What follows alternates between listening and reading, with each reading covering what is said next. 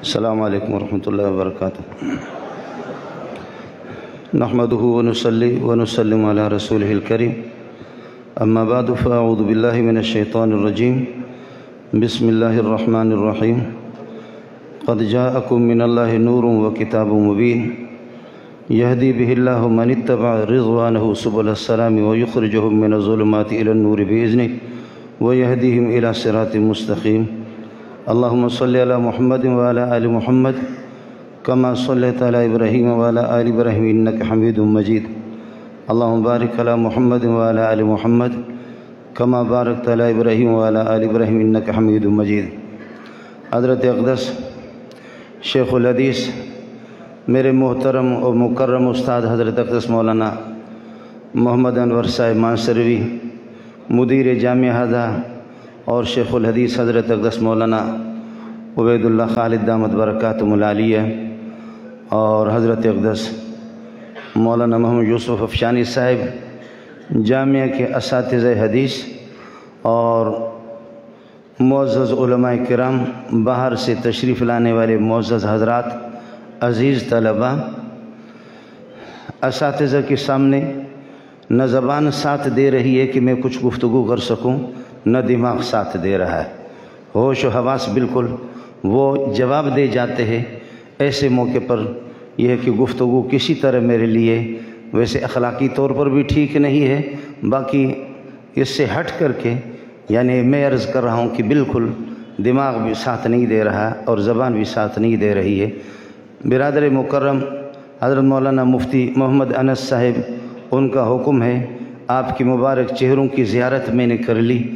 اور یہ ہے کہ یہ تو نہیں کہہ سکتا کہ آپ کو میں نے اپنی زیارت کرائی۔ آپ کے مبارک چہروں کی زیارت ہو گئی۔ جو ساتھی فارغ ہو چکے ہیں، وہ ایک رسمی طور پر جو وفاق المدارس کا ایک نصاب ہے یا درس نظامی کا ایک نصاب ہے، وہ مکمل کر کے آج اب اساتذہ آپ کو یہاں سے رخصت کریں گے اور اب اب اللہ کے بھروسے پر اب آپ اپنے پاؤں پر خود کھڑے ہوں گے۔ اب آپ علم سے فارغ نہیں ہو گئے، یہ اساتذہ صرف آپ کو اس بات کی سرٹیفکیٹ اور سند دے رہے ہیں کہ آپ کے اندر اتنی استعداد آ گئی ہے کہ آپ ورق گردانی کر سکتے ہیں، کتابوں کو کھنگال سکتے ہیں، مطالعہ آپ کر سکتے ہیں۔ باقی یہ ہے کہ اب سے لے کر کے، بلکہ ابتدائی سے لے کر ایک آدمی آخر دم تک تا حیات جب تک جان میں جان ہے بندہ اپنے آپ کو طالب علم سمجھے گا تو پھر انشاءاللہ علم اس کے پاس آئے گا۔ باقی یہ کہہ دے کہ وفاق کی سند مجھے مل گئی، میں فارغ ہو گیا۔ تو وہ فارغ ہو گیا تو وہ ہر طرح سے فارغ ہے۔ وہ علم سے بھی فارغ ہے، وہ عقل سے بھی فارغ ہے۔ آپ حضرات سے میری گزارش ہوگی۔ میں ادھر پیچھے ایک قبرستان ہے، جہاں آپ نے دیکھا ہوگا کہ بڑی بڑی ہستیاں آرام فرما رہے ہیں۔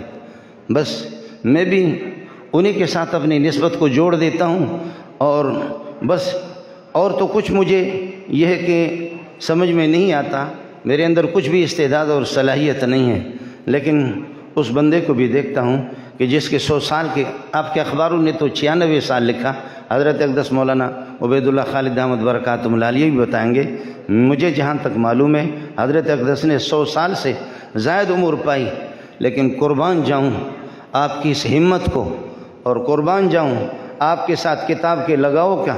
کہ کتابوں کے ساتھ لگاؤ کیا؟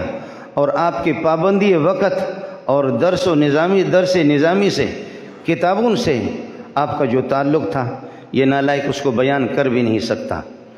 میں ایک دفعہ برادر مکرم مفتی ابو لبابہ صاحب میرے ساتھ تھے۔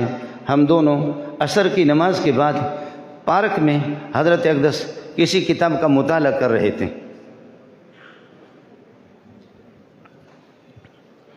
ہم دونوں کے دونوں حاضر ہو گئے۔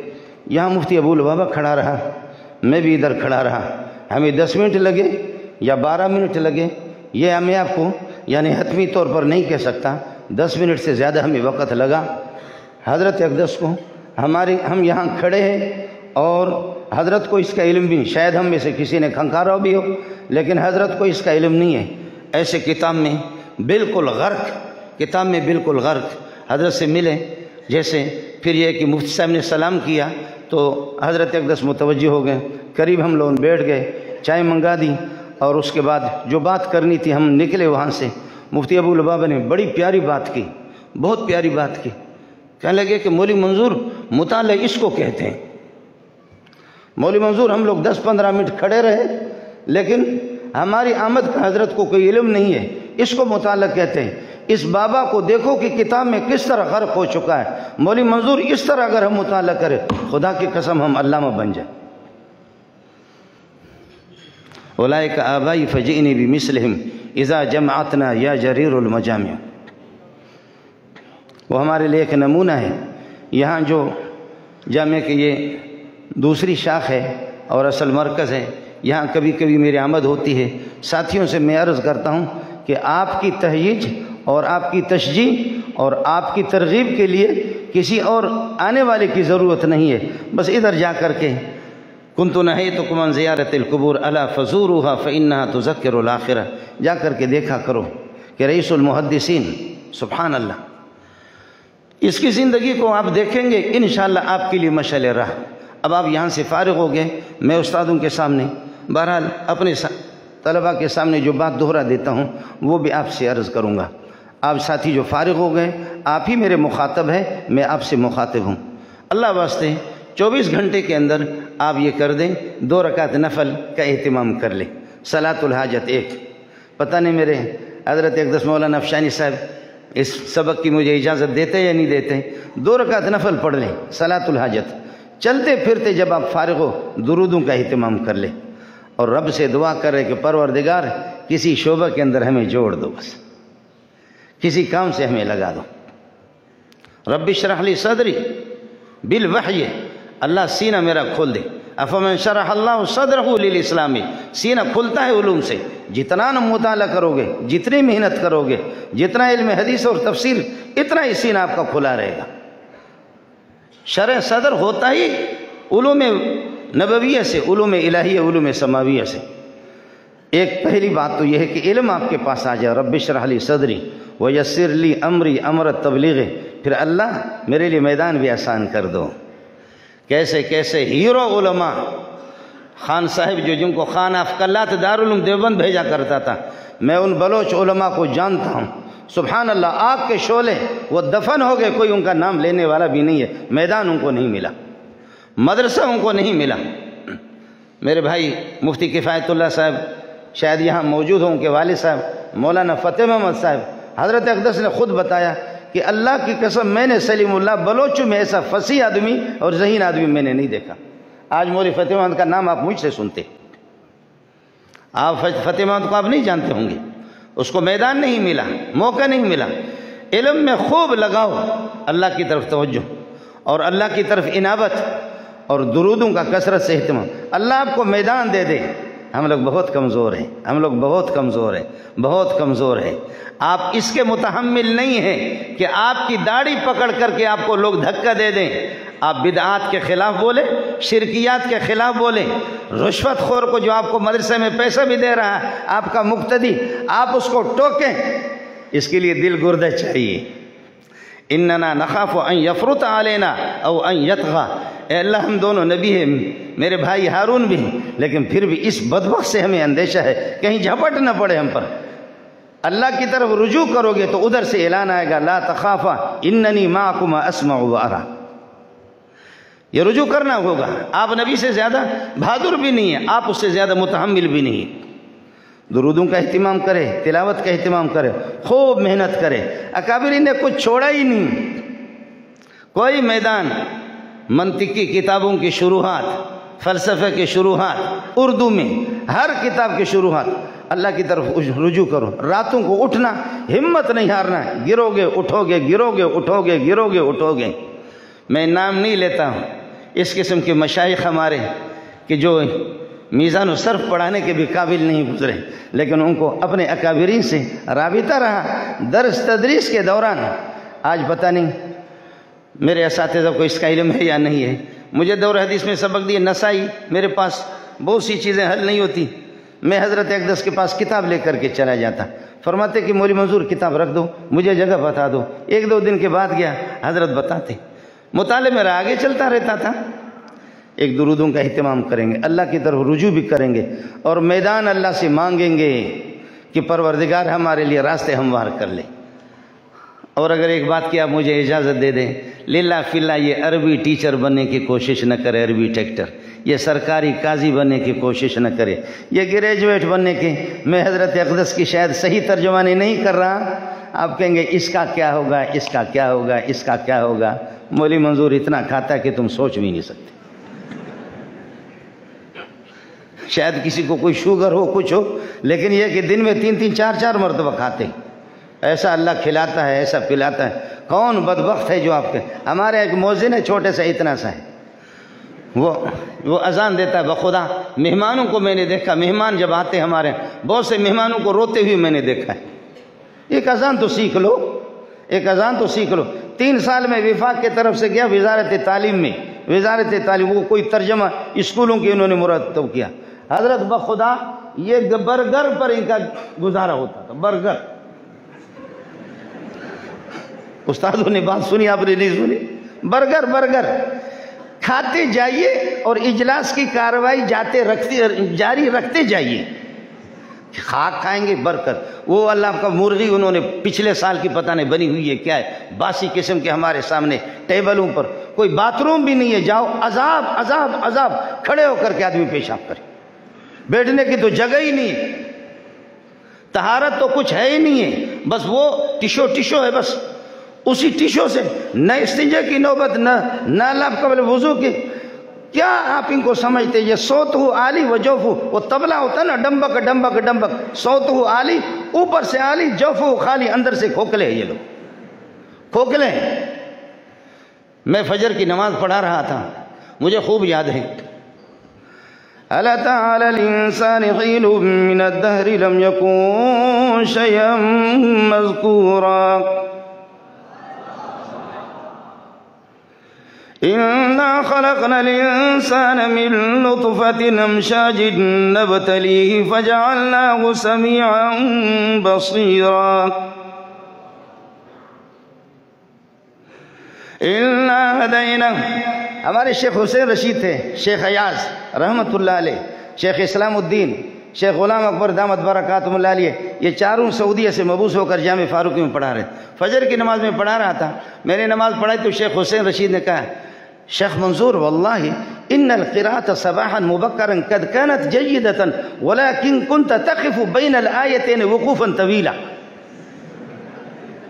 كده قراءة بڑی اچھی تھی. ولكن كنت تقف بين الآيتين وقوفا طويلا آپ ٹھہرتے زیادہ تھے. میں نے کہا یار اصل بات آپ کو بتاؤں بخدا نیند آ رہی تھی.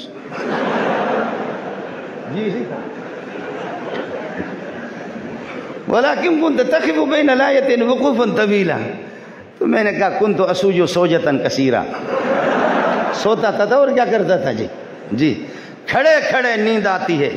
میں اپنے اس مدرسے میں سبق پڑھاتے پڑھاتے ظاہر ہے کہ جب قربان جاؤں، جامع فاروق کیا وہاں تو ہوائیں اور طوفانیں آ کر سلیم اللہ سے ٹکراتے تھے۔ ہمیں پتہ ہی نہیں تھا کہ یہ کیا ہوتا ہے۔ اب جبکہ الگ ہو گیا تو اپنی قد کا اندازہ ہو گیا کہ تم کتنے پانی میں ہو۔ یہاں کتابیں اب تو چونکہ میرے عزیز ہیں، میرے اساتذہ بھی ہے میری مجبوری بھی ہے، میرے برادر مکرم مولانا عبدالرزاق صاحب سے سے عرض کر رہا ہوں، بخدا کبھی اس طرح بھی ہوا ہے کہ چوبیس گھنٹے میں ڈھائی تین گھنٹے مجھے نصیب ہوا یا نہیں ہوا، میں سیاست اکیلا پڑھا تھا۔ اور چندہ بھی کرو سیاست بھی پڑھاؤ، دیگر اسباق بھی۔ آ کر کے ایک آدمی فوراً دور حدیث شروع کرے۔ سبق میں کئی دفعہ سویا ہوں، لیکن وہیں سے آنکھ کھلی، وہیں سے جاری رکھا ہے، طلبہ کو پتہ بھی نہیں چاہا تو ادھر نماز میں بھی سو گئے۔ اب اتنی اتنی گولیاں لے رہے، اتنی اتنی گولیاں انڈیر رہے، آنکھیں کھلی ہوئی لیکن نیند نہیں آ رہی۔ بخدا، نیند نہیں آ رہی۔ آپ مجھے بتاؤں، آپ کو مرغا تکہ آپ کو کھلائیں، مرغا تکہ کھلائیں، لیکن تلوار آپ کے اوپر لٹکی ہوئی ہو، آپ کو نیند آئے گی؟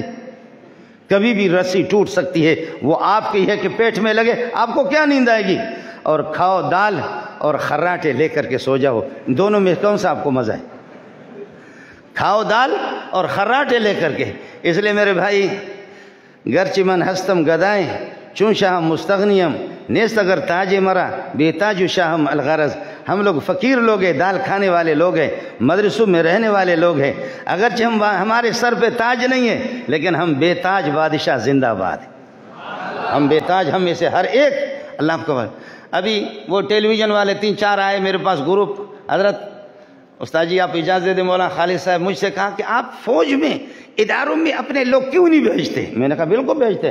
جامع فاروق کے سینکڑوں لوگ فوج میں گئے، بنوری ٹاؤن کے سینکڑوں گئے، دارالعلوم کے سینکڑوں گئے، ہم بھیجتے۔ لیکن جو سب سے استعداد والے ہوتے ہیں، ان کو درس تدریس میں لگاتے، درس قرآن پہ لگاتے۔ خلق خدا کے ہدایت اور رہنمائی کے لیے ان کو اساتذہ مقرر کرتے ہیں۔ اور متوسط جو طبقے کے ہوتے ہیں، متوسط ذہن کے، ان کو تکمیلہ کراتے، ان کو بھی درس تدریس میں لگاتے۔ جو سب سے نالائق ہوتے ہیں ان کو فوج میں ہم بھیجتے۔ ہیں اسی طرح بالکل اسی طرح۔ بتائیں حضرت جی بتائیں مولانا عبید اللہ خالد مجھے بتائیں، مولانا افشانی صاحب بتائیں، جامع فاروقیہ کے دارالعلوم بنوری ٹاؤن کے جو گئے ہیں فوج میں، کون سے استعداد والا گئے؟ الو کے پٹے گئے۔ تمہاری استعداد ہمارے سامنے کیا ہے؟ میں نے کہا، بالکل ہم بھیجتے ہیں۔ جو بالکل نالائق قسم کا ان کو بھیجتے ہیں۔ اور حقیقت ہے۔ اس لیے میرے بھائی سلیم اللہ تو کوئی نہیں بنے گا، نقل اتارنے کی کون کوشش کرے گا؟ درودوں کا اہتمام کرو، ہمت نہیں ہارو۔ میں نے منطق و معقولات نہیں پڑھی ہے، کچھ بھی نہیں۔ اور میری نالائکی ہے، میں ایک چرواہی کا بیٹا ہوں، جامع فاروقی میں آیا ہوں۔ اور یہاں تک جو اس حق تک یہ کہ ٹوٹا پوٹا غلط سلط جو ترجمہ پڑھاتا ہوں، یہ سب کچھ مولانا سلیم اللہ خان رحمۃ اللہ علیہ کی جوتیوں کا صدقہ ہے۔ ہمت پھر بھی نہیں ہاری ہے، آپ ہمت نہیں ہاریں گے، آپ اس کو اپنا مقتدہ بنائیں گے، ان کی زندگی کو دیکھیں گے، ان کو اپنا پیشوا بنائیں گے۔ انشاءاللہ اللہ آپ کو آسمان تک پہنچائے گا۔ میں جس طریقے پر آپ اس چشمے سے، اس مرکز سے آپ نے جو جو کچھ لیا ہے، آپ نے جو فیض حاصل کیا ہے، میں بھی اسی چشمے کے جو کچھ میرے پاس تھوڑا سا آ گیا لیکن میں بہرحال آپ کو صرف یہی کہہ سکتا ہوں۔ اب شانی صاحب نے سلیم اللہ سے لیا، بہت کچھ لیا۔ رحمۃ اللہ علیہ۔ مفتی نظام الدین نے بہت کچھ لیا۔ مانسوری صاحب نے، مولانا انور صاحب نے بہت کچھ لیا۔ لیکن خر عیسیٰ بمکر و چوبا زائد ہما خر گردد۔ ہم تو بس اسی طرح ہے۔ خیر، جتنا، لیکن پھر بھی نا اساتذہ کی دعا ہے۔ اللہ پاک یہ ہے کہ گرتے، اٹھتے گرتے، اٹھتے۔ دنیا میں چل رہے، پڑھا رہے۔ آپ کو اللہ کا واسطہ دوں گا۔ عربی ٹریکٹر بننے کی کوشش نہ کرے۔ سرکاری قاضی بننے کی ٹھیک ہے، بھیجو تم سرکاری میں۔ ہمارے ساتھی ہے میرے کلاس فیلو ہے اب یہ بات کہہ کے ختم کر دیتا ہوں۔ اس نے کہا، تزوج الودود الولود فینی مقاصر بکم الامم۔ جو عورتیں محبت کرنے والی ہوں، جو زیادہ بچے جنم دینے والی ہوں، ان سے نکاح کرو۔ کرنل نے اس کے بعد پکڑا اس کو یہاں سے۔ کہا کہ بغیرت ایسی حدیث پہ میں لانت بھیجتا ہوں۔ جی ہاں۔ کرنل نے اس کو پکڑا۔ کہا کہ ایسی حدیث پہ لانت بھیجتا ہوں، یہ حدیث رسول نہیں ہو سکتی، یہ حدیث رسول، حدیث یہ کیا، عورت کا کیسے پتہ چلے گا؟ وہ شادی کرنے کے بعد پتہ چلے گا کہ کتنی محبت کرتی ہے، بچہ کتنے جنم، تم پہلے سے کہتے ہیں ایسے شادی نہیں ہوئی تو کیسے پتہ چلے گا کتنے بچے جنم؟ دیکھا، اس عقل کو دیکھو، اس اندھے کو، آپ کو خدا کا واسطہ ہے۔ تم مجھے بتاؤ کہ پٹھان، بلوچ، سندھی، مہاجر، یہ زیادہ بچے دیتے ہیں؟ یا اللہ آپ کا بھلا کریے کہ بنگالی برمی؟ ہر ایک کو پتہ ہوتا ہے، ہر علاقے کے خواتین کے کہ آج مجھے معلوم ہے، میری والدہ عائشہ، اس کی قد کیا تھی؟ اس کے صفات کیا تھے؟ صفیہ کی صفات کیا تھے؟ قد اس کی کیا تھی؟ اماں خدیجہ، یہ سب کچھ وہاں کے ان کے ہم مثل، ان کے یہ ہے کہ خاندان کے کنبہ کے عورتوں کو دیکھا جاتا ہے۔ یہ سب کچھ معلوم ہوتا ہے۔ پٹھان خواتین کے خصوصیات کیا ہے؟ اور بلوچوں کے کیا ہے؟ اور مہاجروں کے کیا؟ ہے ایک ایک پتہ ہوتا ہے۔ لیکن اس اندھے کو کہتا ہے کہ میں اس حدیث پہ لانت بھیجتا ہوں۔ اس کے بعد مولوی صاحب، اگر آپ نے اس حدیث بیان کی، تیرے منہ پہ جوتا رسید کروں گا۔ میرے سلام ہو ایسے فوج کو، السلام علیکم ورحمۃ